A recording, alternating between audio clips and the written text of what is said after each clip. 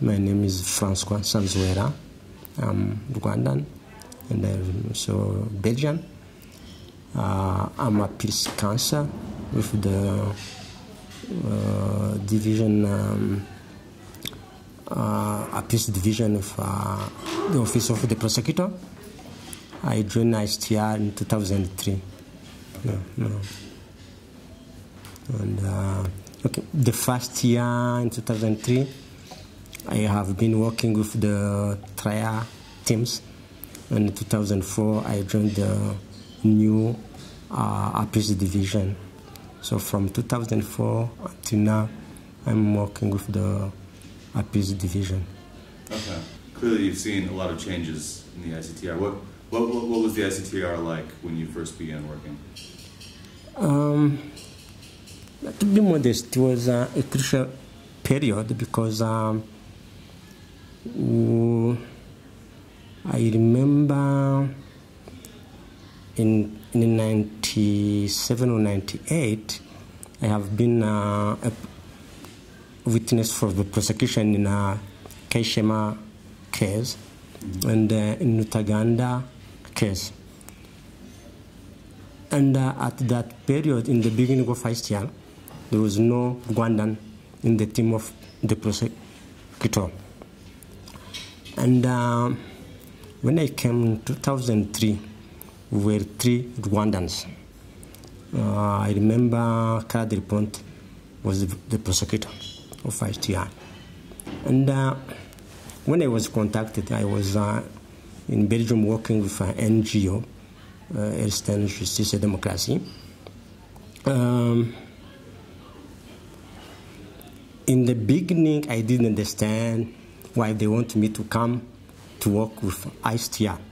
As I said, I came as um, an expert witness for the prosecution in Kayishema and in Tagana. But uh, in the conversation I had um, uh, with the principal of the, the office of the prosecutor, they, they told me that they need Rwandan. So we were three Rwandans.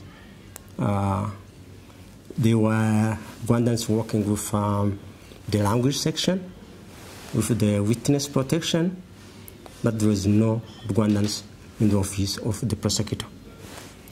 And I think uh, with my two colleagues, we bring uh, something new. Uh, we bring uh, our expertise as Rwandans uh, on the background, on the history of Rwanda, on the, even on the fact. Personally, I was in Rwanda before genocide. I was the prosecutor of Kigali, and uh, during the genocide, I was hiding in the hotel Mille Collines that everybody knows. And uh, after the genocide, I started the first cases uh, in Rwanda.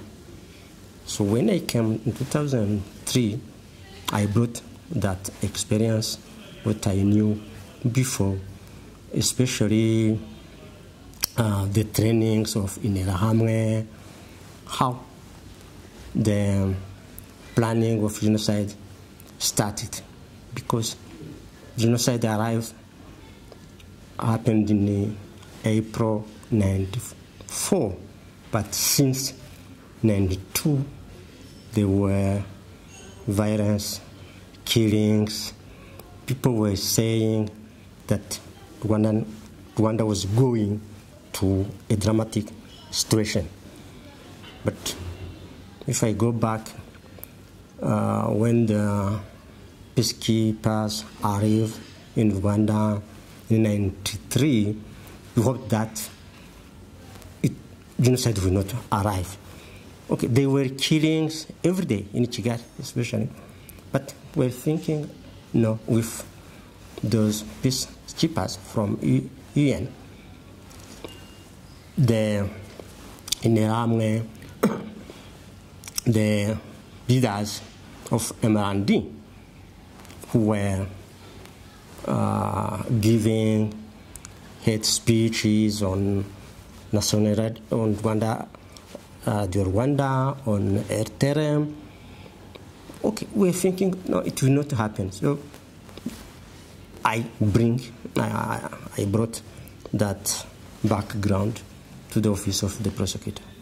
Yeah, if I can summarize uh, what uh, uh, I brought. Of course, I myself I rent with my colleagues, but I think my experience as Rwandan uh, was important for the cases that were pending. Maybe you can talk through what what you were doing uh, in the early '90s, and and um, why someone that had the power that you had um, would then have to go into hiding uh, at Hotel Mille Collines. When uh, RPF started the war in the 1st October 19, I saw that the strategy of the Rwandan government and the Rwandan army was to take the Tutsi minority as hostage in the country. So every time RPF was making progress on the ground, when the Rwandan army was in difficulty, there was some killings in many areas of Rwanda, in Bugesera, in uh, Ruhengeri, in the north. So Tutsi inside Rwanda became hostage of the Rwandan government. Um, and uh, progressively, the Rwandan army was losing the, I'd say, the war. And killing Tutsi became for the Rwandan government and the Rwandan army a strategy of war. You remember during the genocide, even before, uh, journalists like uh, um, Ngeze was writing and saying, if RPF continues to fight, Tutsi will be in danger. So we will kill them. So I saw that situation coming. And uh, in 1993, the Interahamwe, the militia Interahamwe, became very aggressive every day, beating people on the street, attacking people during the night, targeting Tutsi and uh, moderate Hutu and uh, people from the uh, civil society. The attacks in 93 became, uh, say, took a high level. So, what happened in 94 in April was not, I can't say, it was not sudden. It from 92 the the machine was ongoing on yeah and uh, in 93 i started arresting um, i arrested many leaders of Interahamwe and when UNAMIR arrived in Rwanda the um, uh, the, the staff of the civil police of Yemen helped me to arrest some of them. Because the gendarmerie and the army were in that uh, strategy of the government. So I could not have help from the gendarmerie or from the army to arrest those in. So when UNAMIR was there, I was happy. So I, I built a relationship, a strong relationship with the civil police of UNAMIR. So when I had to arrest some um, important leaders of Interahamwe, I needed the help of the civil police of UNAMIR, and, and they did. And I remember, I think, uh, in the beginning of January, some journalists started saying uh, at Rwanda Radio that I'm working with Belgians because uh, they bring the uh, no the big part of UNAMIR were composed by Belgian soldiers. And I started receiving, uh, I don't know how do you say in English, monas, saying, okay, you, uh, you are working with uh, Belgian, we can trust you as a prosecutor, you know, you change your identity, you're, uh, you are Tutsi, uh, we can trust you. So the menace be, became strong.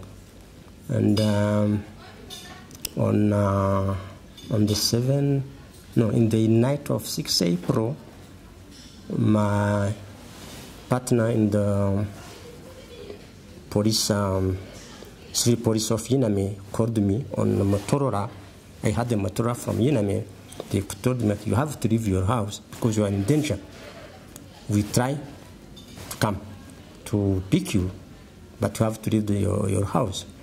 So during the night of 6 April, I left my house and I was hiding in uh, the house of my neighbor, who was a gendarme uh, and a friend. I stayed there um, until I think uh, 8 April.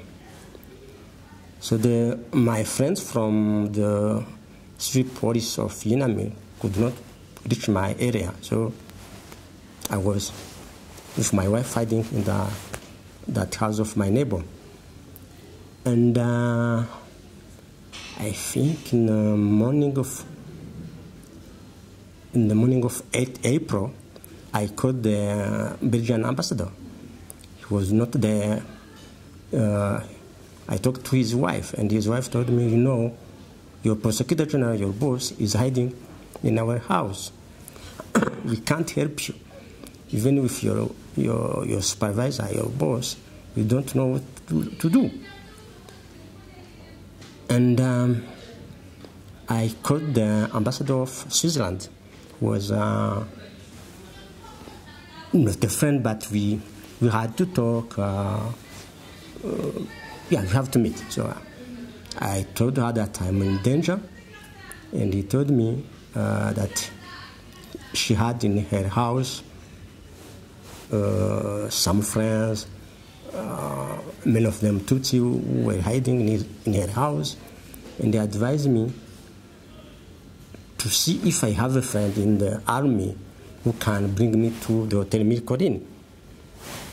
And I thought to the, the chief of the military academy, uh, who was a friend he was a Kana.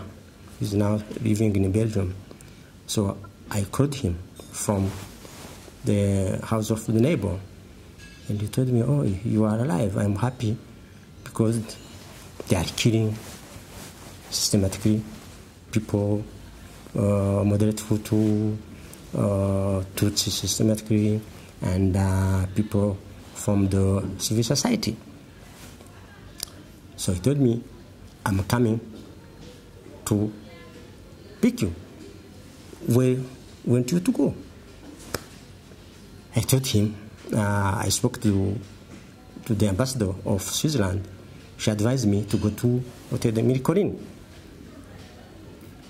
But uh, what I forgot to say is that the ambassador of Switzerland told me, if you arrive at the Mille there's a friend of mine, his name is André Gishawa, he's a French guy, he will protect you. So I think 10 minutes after, that Kana sent me his escort. So he called me to say, okay, I will not come, but I will send, I will send my escort, my bodyguard. Trust them. You will be safe with them.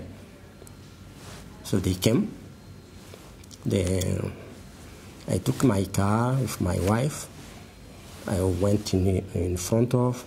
They behind me. They are heavy armed.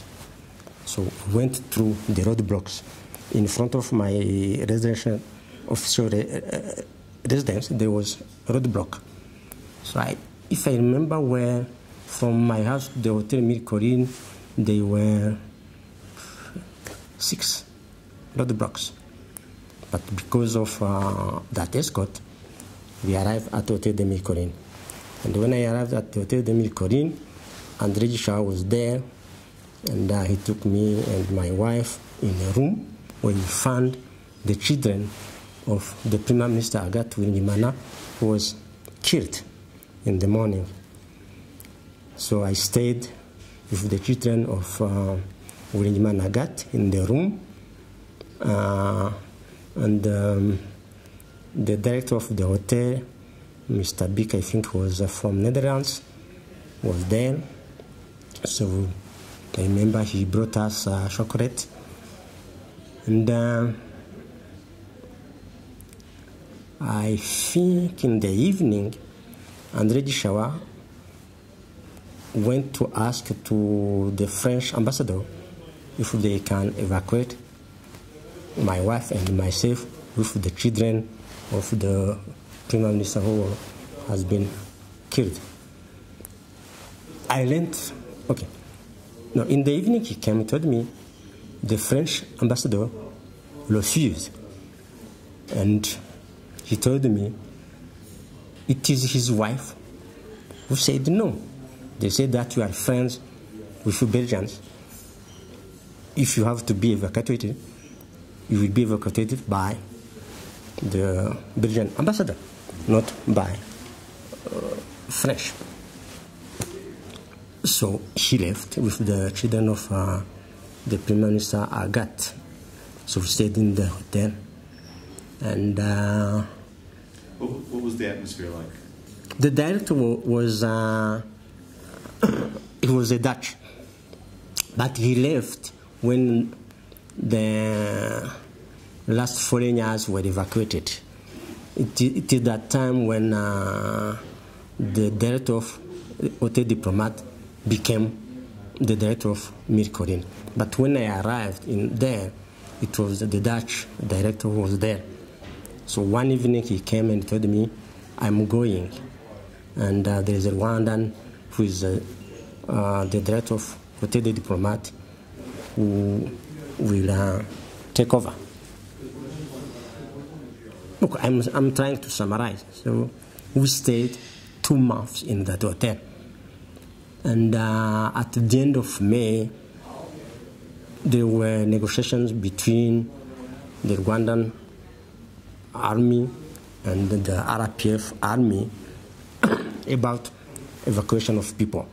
So people had to choose to go to RPF zone or to the Rwandan government area. So people who choose to go to RPF area went to Kabuga. People who choose to go to Rwandan area went to Gitarama. So I chose to go to Kabuga in RPF area. I stayed there, uh, I think, one month, June, and I came back in Kigali at the end uh, of the war. I think, uh, I think I came back in Kigali around uh, 4 July, 4 5 July, yeah. How do you feel looking back about your participation with the ICTR? Perhaps before responding to the, this question, I, I forgot perhaps to talk about um, that fear of the former prosecutor about to, can we trust them because uh, it is their story. I think until today, I have to make an effort on myself to, to don't be an extremist of this side or that side. Uh, I come from a family where there were Tutsi and Hutu, a mixed family. So I have in my family people who were killed, and I have people uh, I knew uh, a cousin who killed a cousin. So, and uh, I have friends who were killed, and I have friends who participated in the genocide. And uh, I, I thought, and I still, I think, I believe it, that justice is the only way to separate bad people and the nice people. And I tried during my 12 years to be honest with myself and uh, to don't judge people without knowing what they did. I like to say the only person I can defend, say he didn't do this, did this, it, it is my wife because from the beginning, at the end of genocide, we were together. If you ask me what, what my brother did, I can say I don't know. Okay. One of my brother was with RPF. He, he joined RPF in 92. Well, he's the only brother I have. But, yeah. Um, but um, yeah, I try to be honest with myself and people, and uh, it is the reason in uh, 2003, 4, 5 the prosecutor sent me uh, in Uganda, in US, in Belgium, in many countries with the trial attorneys to meet witnesses, especially in the Rwandan diaspora. Because many of them who are not extremists, they trust me. I remember I went to see a witness in uh, in uh, in the US. Um, uh, what is the city? It is in the Maryland, and she told me, okay. Many colleagues came to ask me to come to testify in the case. I refused, but if you convict me, I will come. And she came, and she she gave a good testimony. So I was happy to have convinced, uh, I to say, to, to have bring uh, many witnesses from the diaspora to testify in those cases because they trust them. You, you knew a lot, or some perhaps, of the characters that were put on trial. Uh, what what was that like for you personally, working for the ICTR and and I mean, did you ever come across any of these people in the hall, passing them in the hall, people that had been put on trial? I remember one, uh, I think it was in Kayishema. Um, it was before I was a witness uh, expert. And uh, after my testimony, he took, when I, I was leaving the courtroom, he told me, ah, you didn't lie. What you said was true. So um, many of them I knew. I knew them. Um, well, it was difficult, but even today, when I meet them, I greet them. I knew them. Uh, um, some of them, uh, the families are in Belgium. In the metro, I, I met them. So, yeah. Um, they, still, they are still human beings. What they did is bad, is uh, out of imagination, but they are still human beings. What I regret is that any of them didn't have the courage to say, okay, we did this. We did this, and I ask forgiveness, forgiveness except one, uh, um, uh. I don't know if he's married. One day I came, I met him here in uh, SF House, and he told me, I would like to ask you forgiveness. I said, why? Told me, okay, your sister was working with the commercial bank was killed by Neram, and I'm, and I was leader of Neram. So your sister was killed by my people. Can you forgive me? And I told him, I don't know, but I'm happy that you asked me that. And she asked me to call his wife.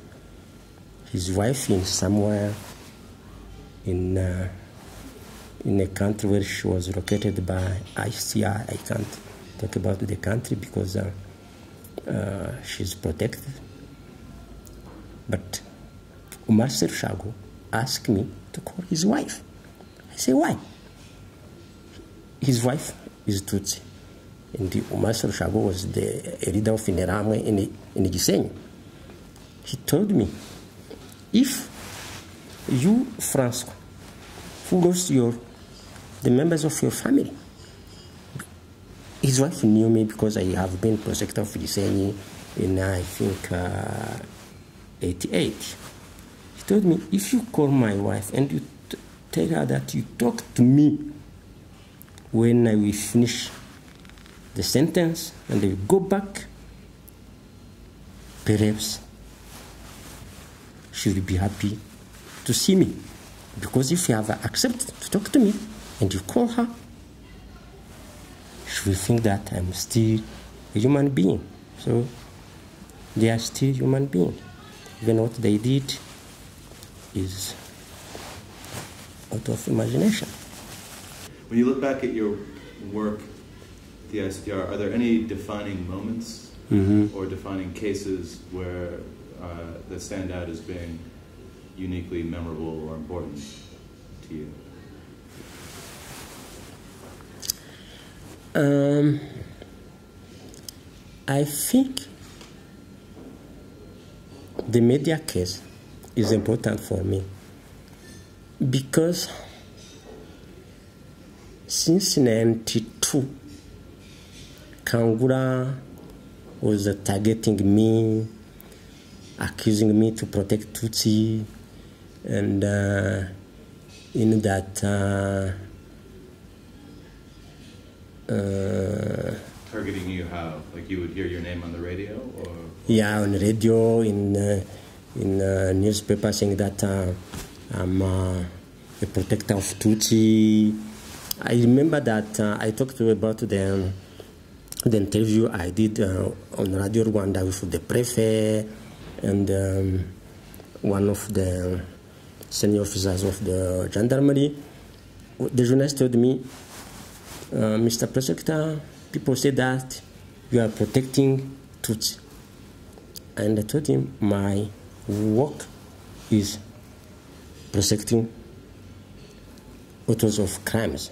When they bring to me someone who killed, someone who burned a house, someone who did this and this, I see a suspect. I don't see his ethnic group on his face. So, for me, uh, that media judgment was important because people saw genocidaire killing people, Interahamwe killing people, But they didn't see those journalists, those media people killing people.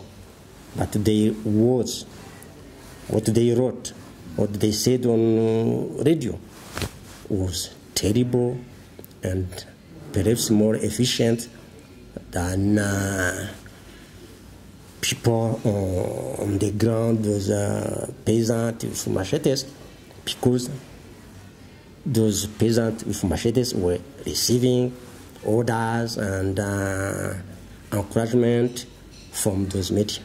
For me, that judgment was very important for me um, because I think for the education of the Rwandan population, it, that judgment opened the eyes of my people to see how the speeches are dangerous and the, media. Because, you know, at that time, perhaps 90% of are, were illiterate. So for them, something coming from radio, from a media, was the truth. The radio said this, it is the truth. So that, for me, that judgment is important. Okay, the sec- okay, all the judgments are important. Uh, the other one is uh, Muhimana. Muhimana was also my first case in uh, in appeals.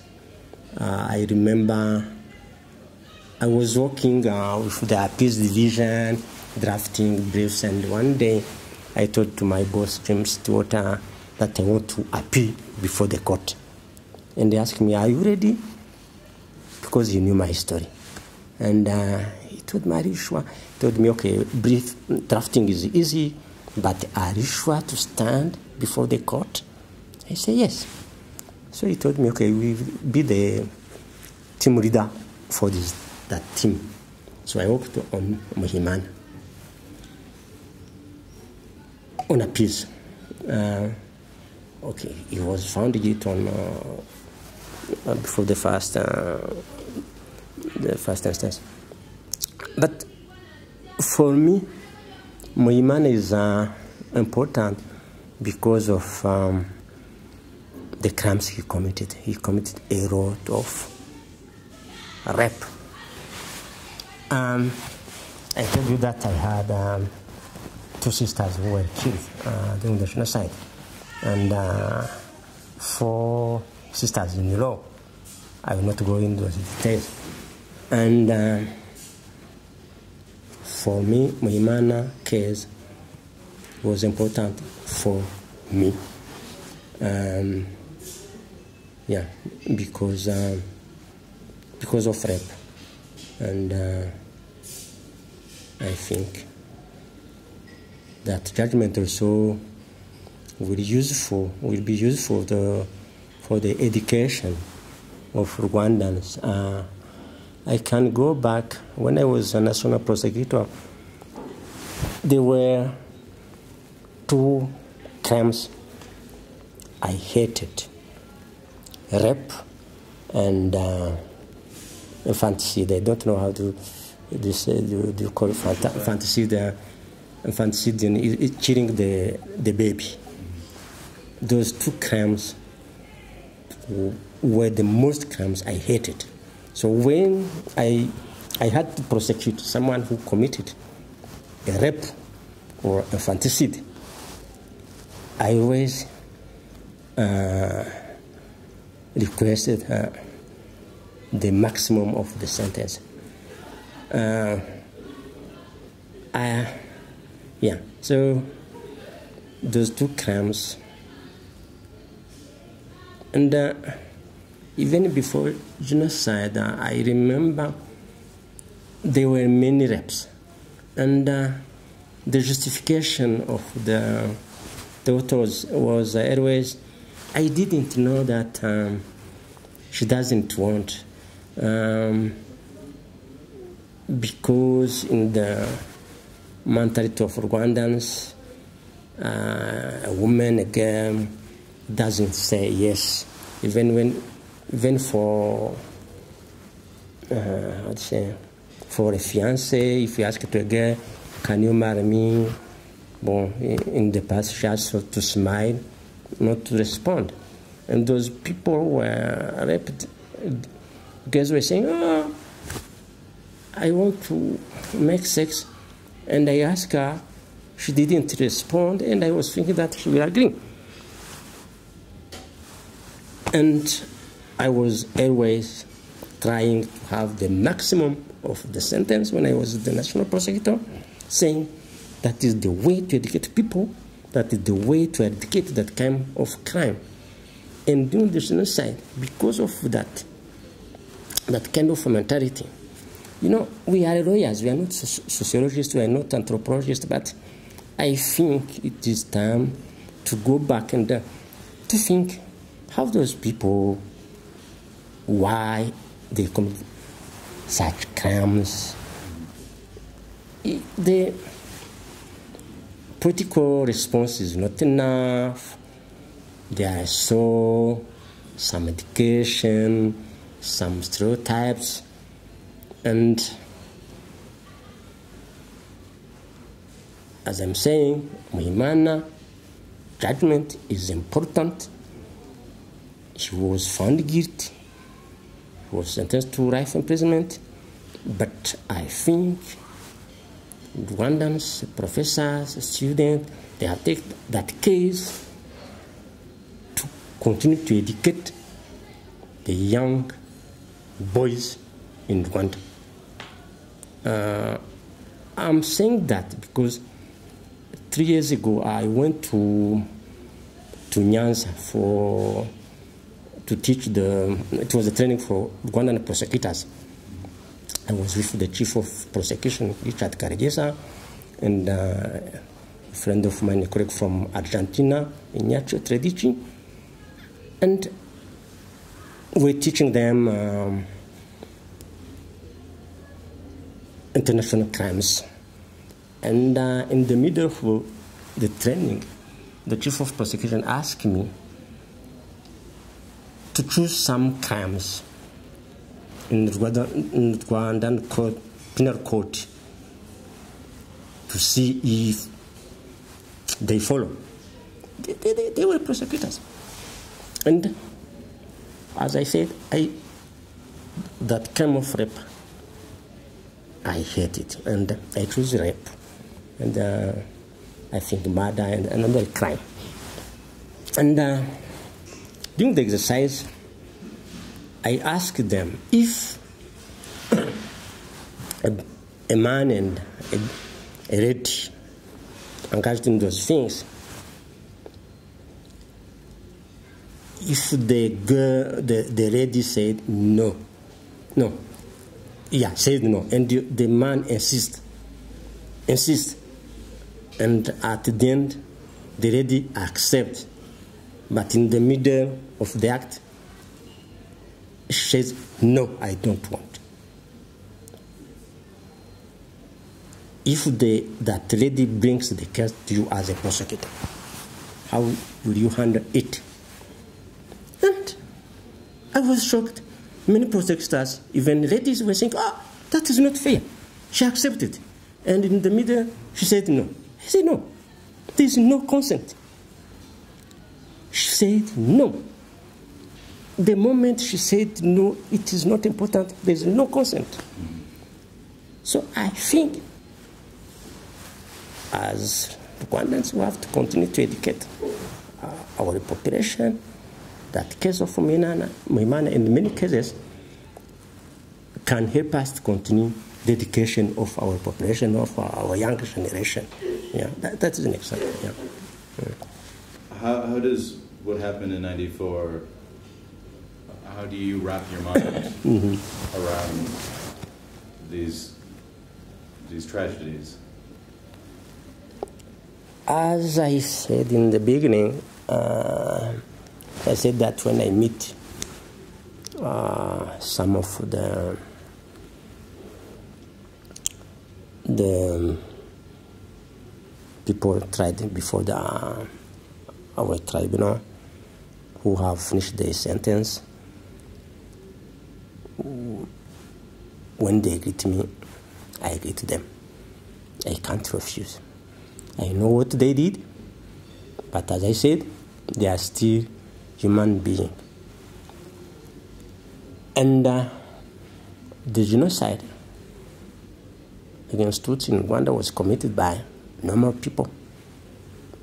Uh, those leaders, they went to universities. Some of them were doctors, medical doctors. Some of them were doctors in, uh, in history. Uh, they were lawyers. Uh, those uh, senior officers of the army, they went in uh, Western uh, academies, in Paris, in Belgium, in US. So, and the peasant who participated in the killings of the the Tutsi neighbors were normal people. They shared everything like they do today. But one day they became killers. Then, yeah, there is no uh, say, there's no justification, there's no there is no explanation, but what what I want to say, there are no more people. So, so the question is, why? How it happened? Is uh, let's say people, human being like you and me, we don't know what we can do in some situations. I have a friend in Belgium. His brother participated in the genocide. He was doing his studies uh, at the University of Antwerp in Belgium. And uh, he never came, he never went back to Rwanda. And uh, one day he told me, Francois, I'm happy that during the genocide I was, I was not in Rwanda. I say, why? I don't know what I could have done. My brother was a nice person, but he participated in the genocide, and I know that he did. It is not a not rumors. He participated. I have uh, testimonies from members of the family. So he was saying, if I was in Rwanda, could I participated? Could uh, help the people? In which side? Uh, so it was a big question, a big interrogation for him, and I can understand him. Uh, you, ha- you have heard many explanation why why genocide uh, happened. What is what is sure is that that millions of Rwandan peasants, Hutu peasants who participated in genocide, were manipulated. There is even some Tutsi who changed said, okay, no, I'm not a Tutsi, and were with Hutu in the killings. They are Hutu who killed the Tutsi wives. I, I can't give an answer because what happened in the mind of those people. Uh, I can say for many, perhaps it was a hard choice. The husband who killed the mother of his children, a normal person, for me, in his heart, in his mind, there was something which was not normal,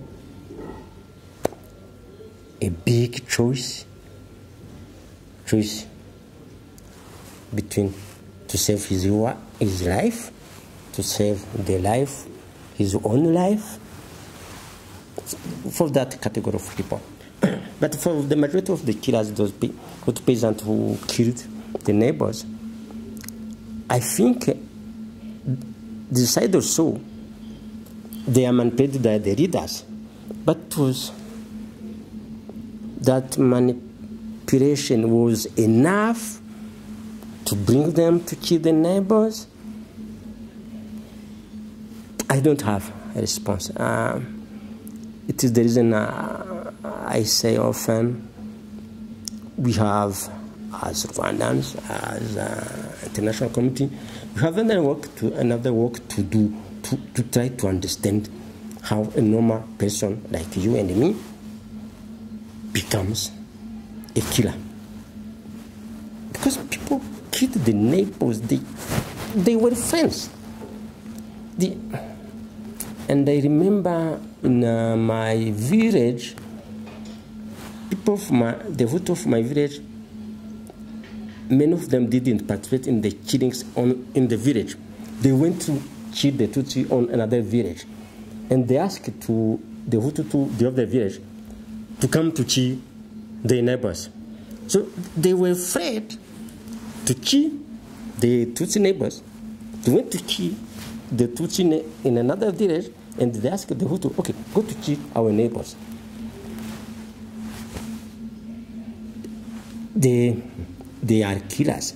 But you see, some of them didn't have, I don't know if I can say, courage to kill the neighbor for nothing because you, they were killing them because they are Tutsi. They, they were friends.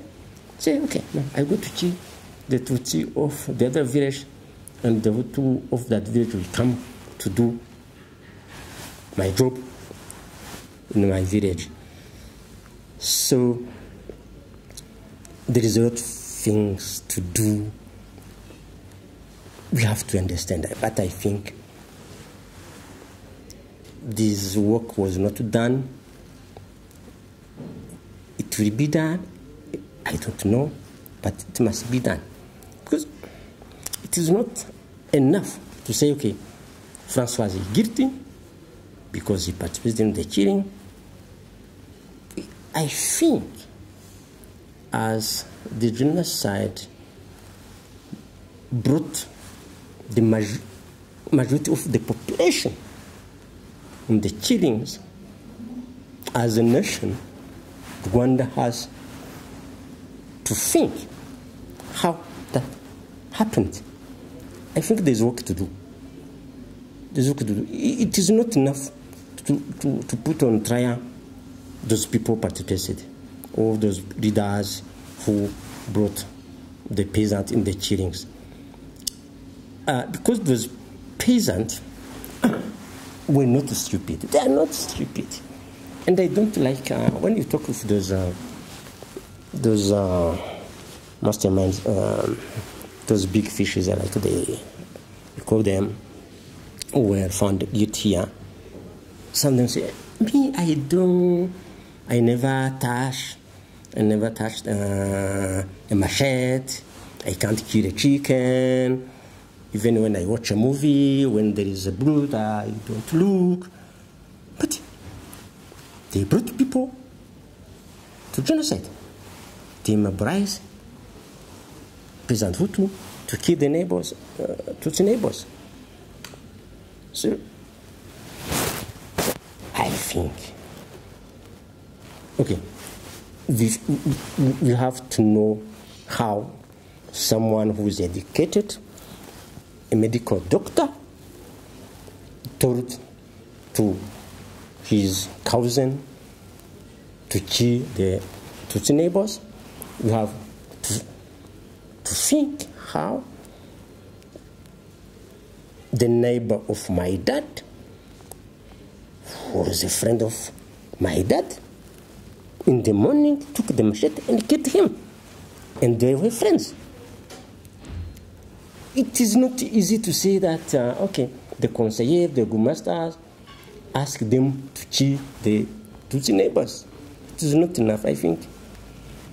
But uh, me, I can't. Uh, I'm a lawyer, and uh, okay, well, um, every day we struggle for for our uh, I'd say our today life. But I think Rwanda, as a nation, international community, have uh, a work to do to, to, to understand the, the justice is not enough, is important. The justice is very, very important.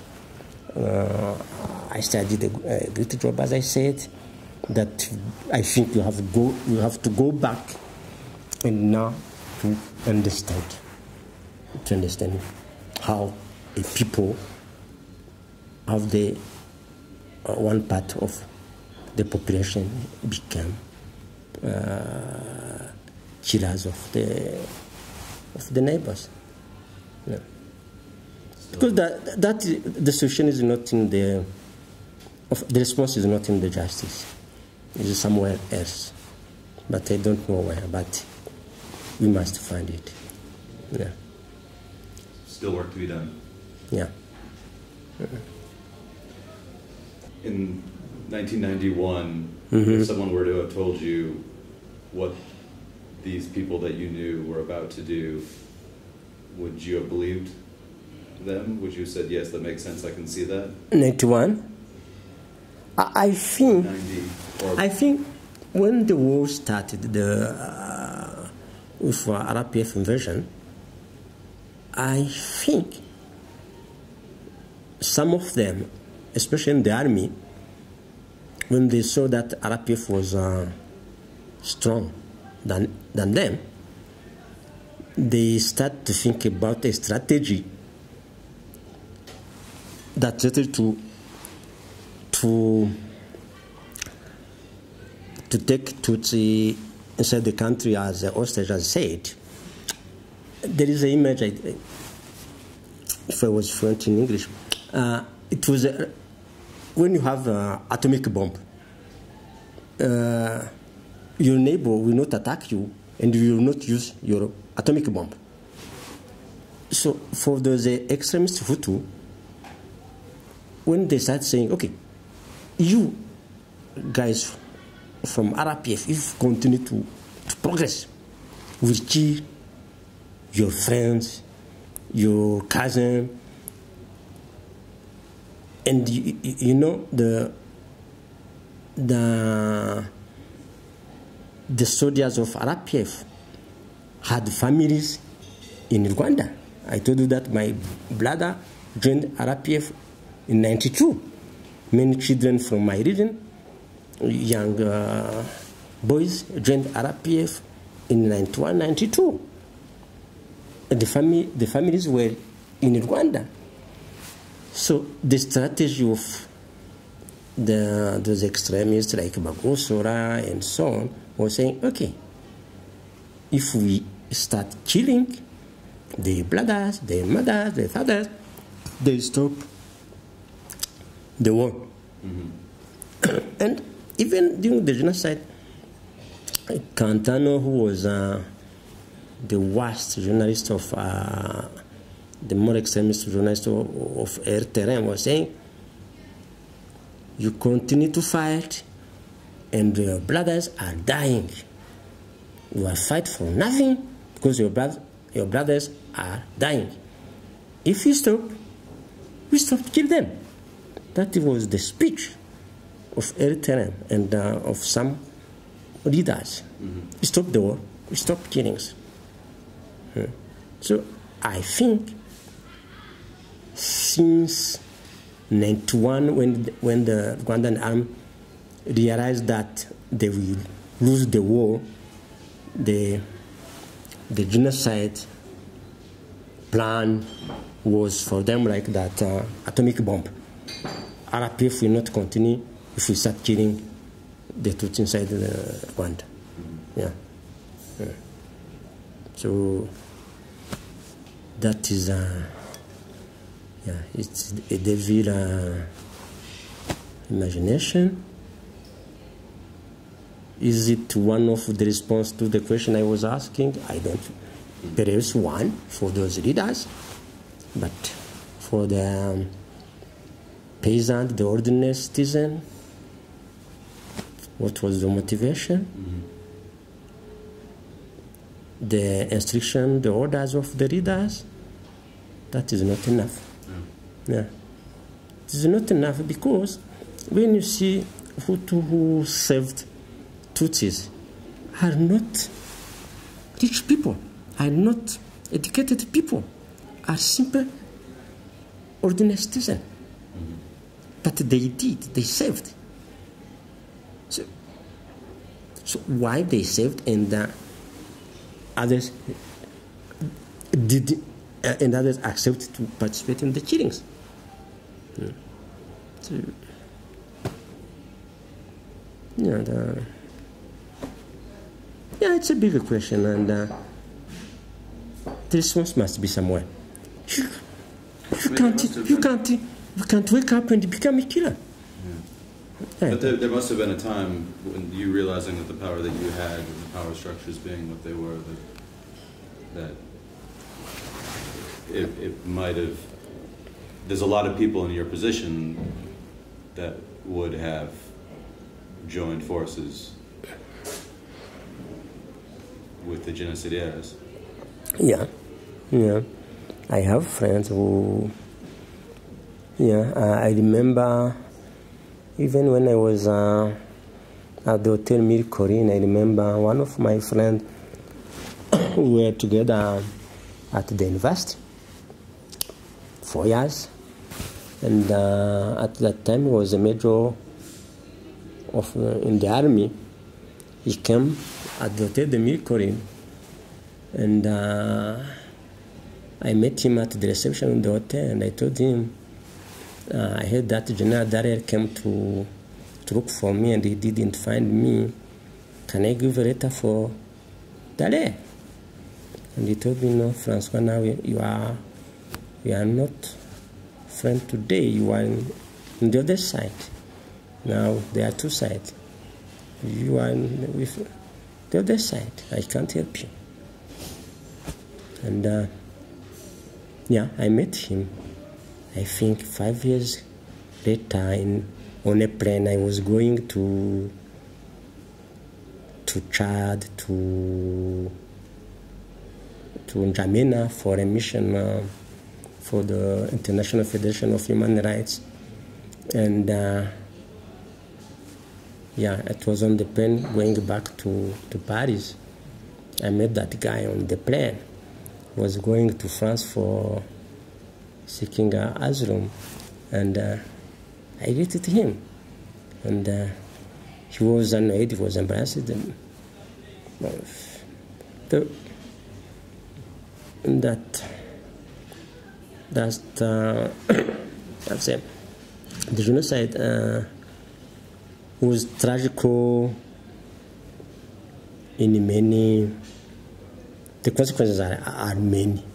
People were killed, but uh, we, we lost friendship and uh, yeah, a good friend who became a killer. Yeah, um, I think we lost on on everything, everything. Um, yeah. It is painful to today to meet a friend, enfin, another friend. You shared many things, but today you can't communicate, you can't talk. Yeah the consequences of genocide are are so so so many. Yeah, yeah, yeah. Something was destroyed, and uh, I think it will take generation. As I said, uh, I try every day. Don't be an extremist. Don't. I do every day an effort, and uh, um, I was always, um, I say, for example, when when uh, we were uh, assessing testimonies, I had occasion to say, I don't trust this witness, he's lying, I know of the press. There is a case we had um, a witness from Changu who was saying that the, one of the accused landed with the helicopter on the top, on the roof of a house in Bugarama. I told him, You are lying. and he said, I am not lying. You were not there. How can you say that I'm lying? I told you, Shut up. I know your region. I know the houses you are talking about. An helicopter can't not land on the top of that house. Oh, you know, helicopter can land everywhere. I said, I know the house. It was a shop. Because I have been one year in Cyangugu prefecture. So I told the senior attorney, I said, no, this witness, I don't trust him. And he accepted. He went back to Rwanda. So, as I saying,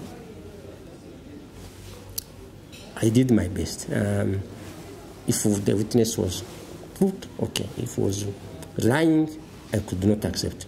Because that witness, I remember the witness told me, okay, give me a chance to testify. The judges don't, don't know the place.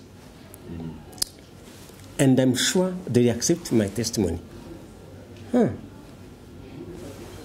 I told him, we are not here to, to obtain, uh, we, we don't need people to find big guilty if they are not guilty. That is not our mission. The mission is justice. So you are lying and you are asking me to give you a chance to, to, to go to tell the, to the court your lies. Say no, go back to Rwanda. So he went back.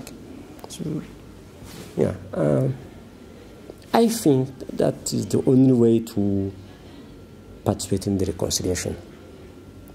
Uh, I would not like uh, that someone be found guilty for crimes he didn't commit. Mm.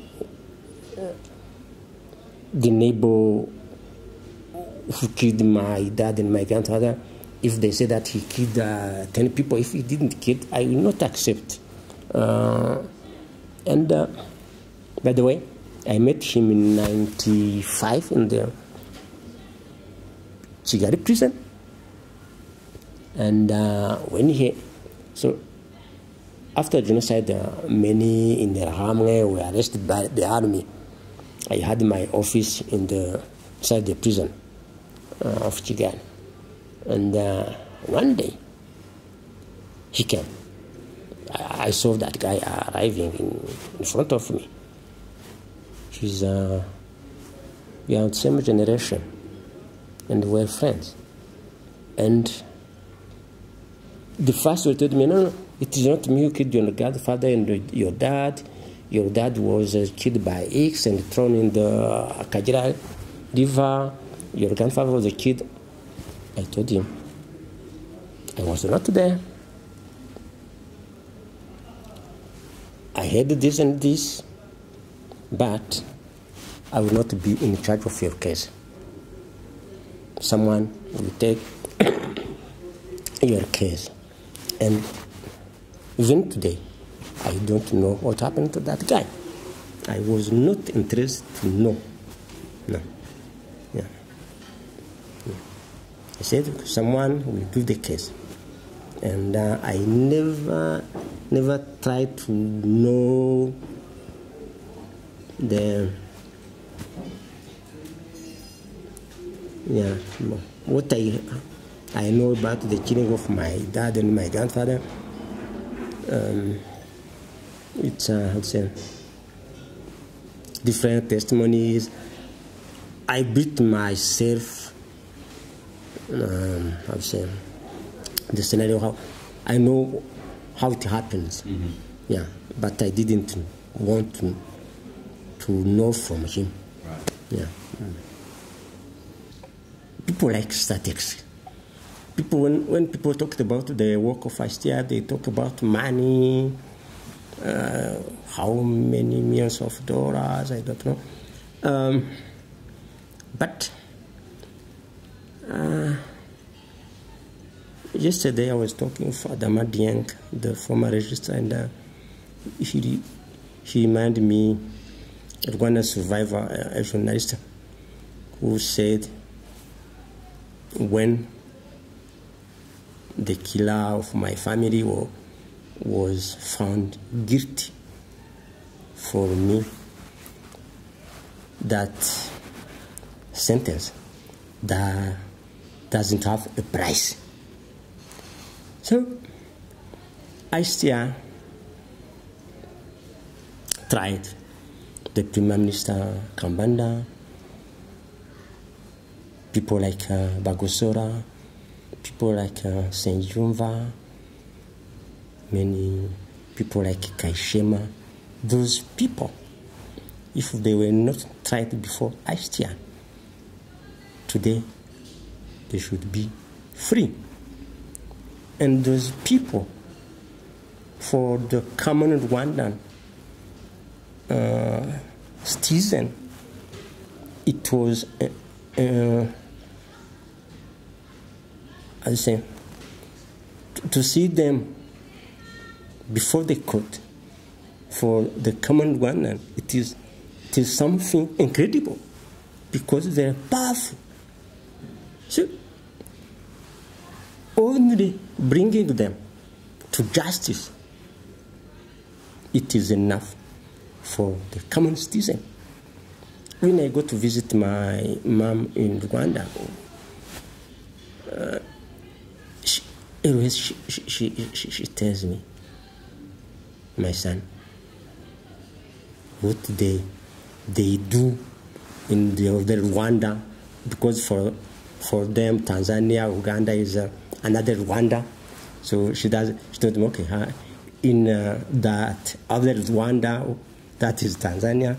What you did is wonderful. Bringing those people to trial. So the cost of ICT, the the cost of um, those trials is not important. The the message was important. Now, Rwandans, they know that anybody can be tried if he commits uh, uh, crimes against humanity or crimes. That message, I think, is uh, the most gift to the survivors to the new generation of Rwanda.